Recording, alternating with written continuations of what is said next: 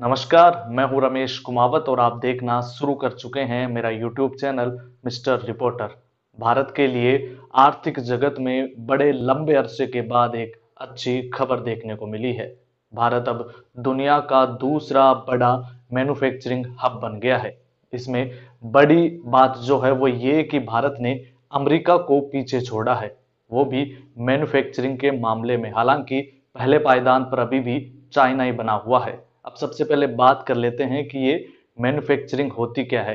Manufacturing की सीधे शब्दों में और आसान शब्दों में हम बात करें तो यानी कि कच्चे माल से तैयार माल या पक्का माल किस तरह से जो तैयार होता है, उस मामले में भारत अब दुनिया का दूसरा बड़ा देश बन गया है। पहले पहले पायदान पर चाइना हुआ करता था और दूसरे पे अमेरिका हुआ करता था, लेकिन अब इस साल जो ग्लोबल मैन्युफैक्चरिंग रिक्स इंडेक्स जो आया है 2021 का, उसके मुताबिक अब भारत दूसरे नंबर पे आ गया है। इसमें जो इंडेक्स जारी किया गया है, उसके मुताबिक अब भारत में जो कामकाज का माहौल है, वो बेहतर हो रहा है। इसके अलावा जो लागत प्रतिस्पर्धा है, यानी कि जो भी यहाँ पर कंपनियाँ हैं, उनकी जो लागत आती है, उस मामले में भी भारत अब अपनी स्थिति को सुधार रहा है।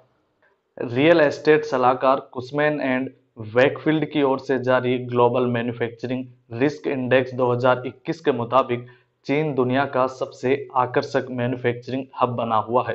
पिछले साल की रिपोर्ट में अमेरिका दूसरे और भारत तीसरे स्थान पर था। यह इंडेक्स यूरोप, अमेरिका और एशिया प्रशांत के 47 देशों में से वैश्विक मैन्युफैक्चरिंग के लिए आकर्षक जगहों का आकलन करता है। रिपोर्ट के मुताबिक दुनिया में सबसे अधिक मांग वाले मैन्युफैक्चरिंग गंतव्यों में अमेरिका तीसरे, कनाडा चौथे, चेक गणराज्य पांचवे और इंडोनेशिया छठवें स्थान पर है।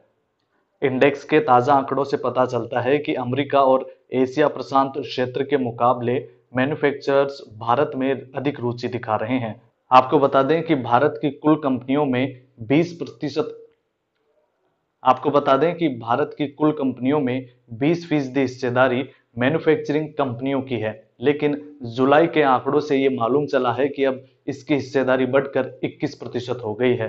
बीती जुलाई में भारत में कुल पंद्रह कंपनियाँ रजिस्टर हुई, जिनमें से 21 प्रतिशत जो कंपनियाँ थी वो मैन्युफैक्चरिंग फ़ील्ड से थी, जिससे ये अनुमान लगाया जा रहा है और आंकड़ों के मुताबिक ये कहा जा रहा है कि भारत में मैन्युफैक्चरिंग के लिए स्थितियाँ और जो चीज़ें हैं वो आसान हो रही है, सुलभ हो रही है।